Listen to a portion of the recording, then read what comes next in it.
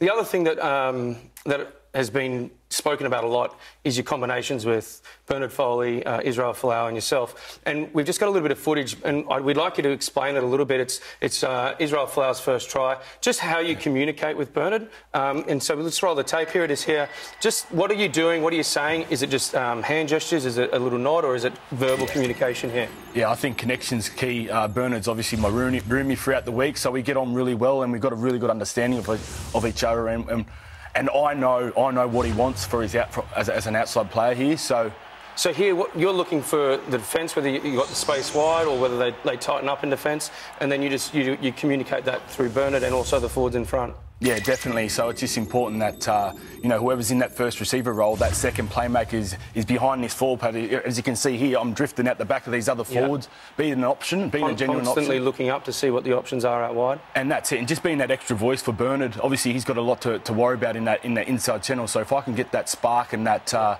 that voice to him, um, and to, to, be able to provide Israel like this, uh, you know, some, some space out wide, we can we can really take advantage of that. Merch, you're a number 10, obviously. Um, you give a lot of calls to number 12, but as a forward, I found we used to get most of our calls off number 12, especially under that dual playmaking role. Who was your best 12 that you played with? Oh, anyone who's verbal. At the end of the day, like the 10 comes in quite often traditionally and calls the first phase play and, and kind of the shape and the framework.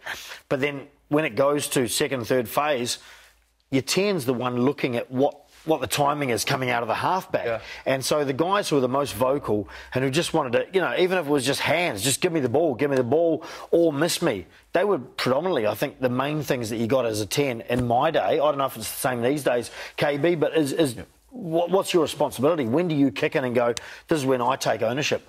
Well, obviously, yeah, but having that dual playmaking role, um, it, it, it, just allows me to kind of have that extra set of eyes out and that outside channels for, for Bernard and, and try and give him the right call at the right time. So then we're, we're unleashing to Kuridrani, we're, we're, we're unleashing Folau, and you know these boys are, are you know starved at balls at time. But if I can just get that uh, get that chat in nice and early, um, you know, to Bernard, uh, whoever's in that 10 position, uh, then hopefully we can take that opportunity when it comes.